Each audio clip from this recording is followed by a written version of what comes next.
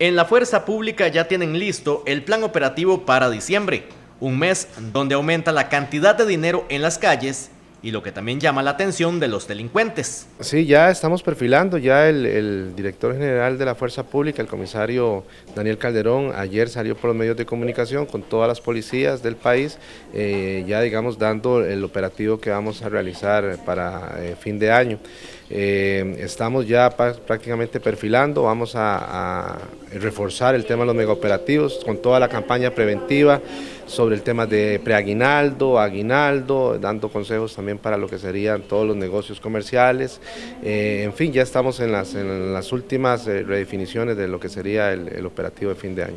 La parte comercial es una de las zonas donde los trabajos se reforzarán por parte de la fuerza pública para evitar alguna situación de riesgo. Básicamente nosotros eh, generamos mucha presencia en la parte comercial, entidades financieras por el tema de la transacción de, de dinero una vez que es depositado tanto las pensiones para los adultos mayores como en sí los aguinaldos pero sin descuidar, digamos, para cuando ya entremos en el tema de vacaciones de, final de año, empezar a ampliar un poco el perímetro para lo que serían casas de habitación y un poco salir, digamos, al,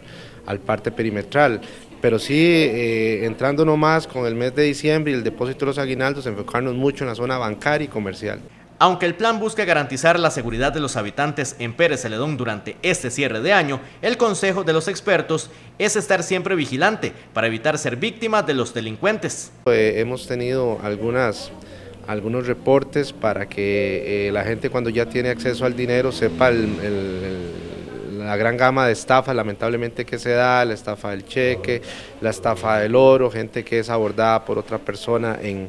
eh, sobre todo en lugares de paradas de autobuses, parques centrales, paradas de taxis, para que la gente tenga la malicia y no caer en estas personas que lamentablemente se aprovechan de la buena fe de las personas para, que sea, para engañarlos. La fuerza pública en el Valle del General está lista desde ya para garantizar un cierre de año tranquilo para los que viven en esta parte del país y también los visitantes.